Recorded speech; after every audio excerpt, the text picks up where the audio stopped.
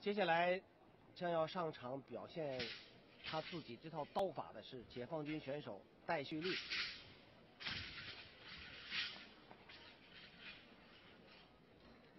大家都知道，解放军的选手他是由来自全国各省市自治区的一些选手来参加比赛的。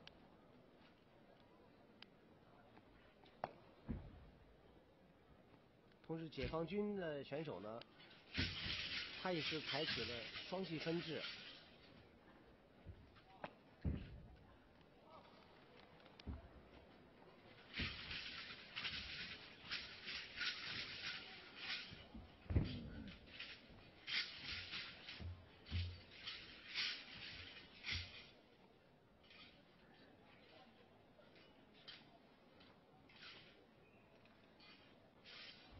抛刀、跌扑滚翻、接刀，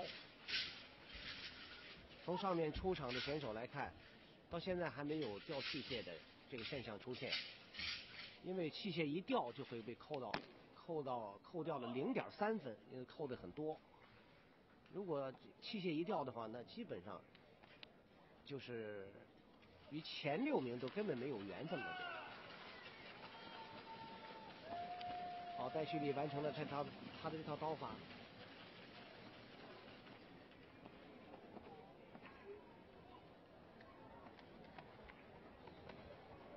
我们从慢镜来看，他做难度动作的时候，动作还是很漂亮。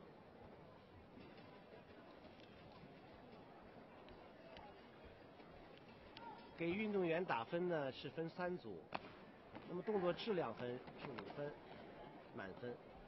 演练水平呢是三分满分，那么动作难度呢是两分满分，要根据他的表现要进行相应的扣分。戴旭立获得九点五二分。戴旭立只完成了，只得到了九点五二分。